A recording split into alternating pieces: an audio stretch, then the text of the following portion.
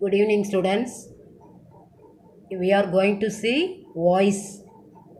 வாய்ஸ்னால் என்ன அப்படின்னாக்க இங்கிலீஷில் ரெண்டு வாய்ஸ் இருக்குது active voice passive voice active வாய்ஸ்னு வந்து subject does the work itself சப்ஜெக்டேவும் அந்த தொழிலை வந்து செய்யும்.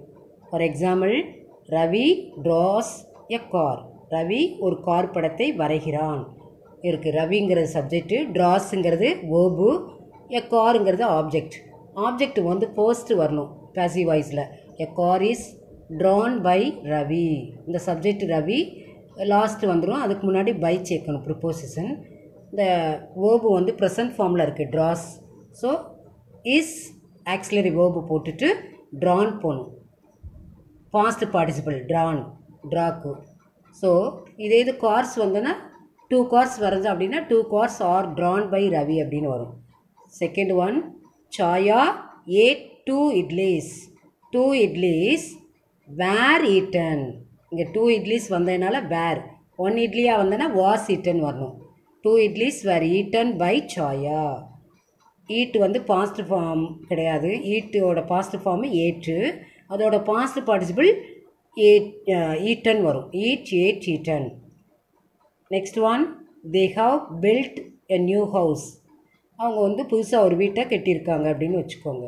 இப்போ a house a new house has been built by them அதாவது அந்த ப்ரொனவுன் ஃபர்ஸ்ட் வந்ததுன்னா அது எப்படி மாற்றணுனாக்க ஐ ஃபர்ஸ்ட் வந்திருந்தால் அது லாஸ்ட் வர்றப்ப பை மீ அப்படின்னு வரும். ஹீ ஃபர்ஸ்ட் வந்திருந்தா அதை லாஸ்ட்டு கொண்டு போகிறப்ப பேசி வாய்ஸில் பை ஹிம்மா மாற்றணும் அவனால். தேன பை தம் அவர்களால். பி அப்படி இருந்தனா லாஸ்ட்டு பை அஸ்ன்னு வரும். எங்களால். சீனா பை ஹெர்ன்னு வரும். அதுக்கடுத்து ஹோஸ்ட்டு வந்து நம்ம என்ன பார்க்கணும்? ஆக்டிவ் வைஸில் பேசிவ் வைஸில் என்ன பார்க்கணும் அப்படி பார்த்தீங்கன்னா ரூல்ஸ் பாருங்கள் ஃபர்ஸ்ட்டு வேர்பை தான் மார்க் பண்ணணும். மார்க் த வேர்பு ஃபர்ஸ்ட்டு என்ன வேர்பு இருக்குது அப்படின்னு பார்க்கணும்.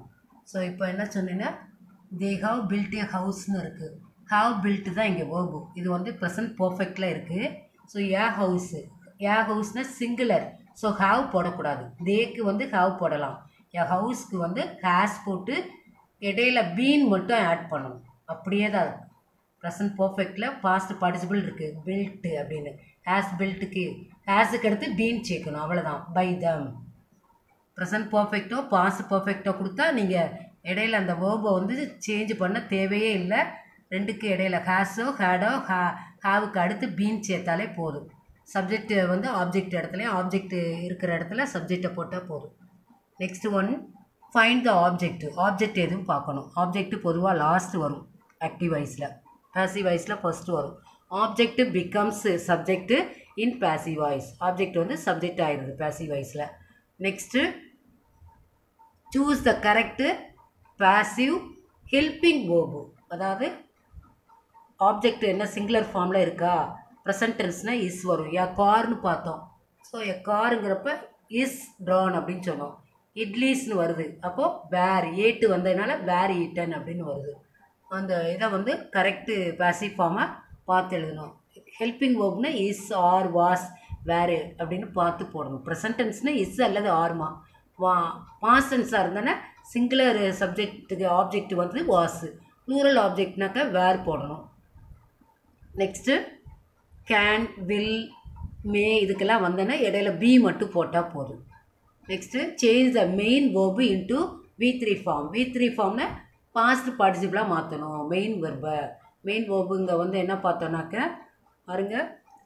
Example I can read Hindi என்னால் ஹிந்தியை ரீட் பண்ண முடியும் அப்படின்னு இருக்குது வேர்பு வந்து ரீடு கேன் ரீடுன்னு இருக்குது முடியும். எபிலிட்டி காமிக்குது. ஸோ ஹிந்தி தான் இங்கே object Hindi can be read by me என்னால் ஹிந்தி வாசிக்கப்பட முடிகிறது அப்படின்னு அர்த்தம். So next change the main verb அதான் ரீட் ரெட்டு ரெட்டு இதே இது வேறு இது வந்ததுனாக்கா ரைட்டு வந்தோன்னா ரிட்டன் வரும். ரைட் ரோட் ரிட்டன் அந்த வி த்ரீ ஃபார்மை எழுதணும்.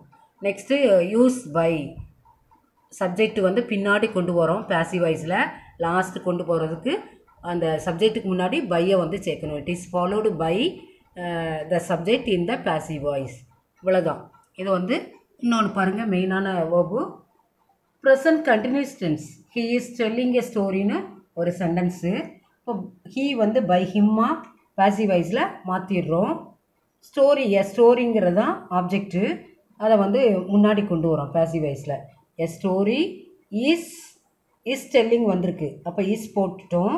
அதாவது இங்கே ரெண்டு வேர்பு ஃபார்ம் இருக்குது இஸ் டெல்லிங் இஸ் ஒன்று ஆக்சிலரி வெர்பு டெல்லிங் ஒன்று இந்த மாதிரி ரெண்டு இருந்தால் இங்கே மூணு ஆகும் பாசிவ் வாய்ஸில் இஸ் பீயிங் டோல்டுன்னு வரும்.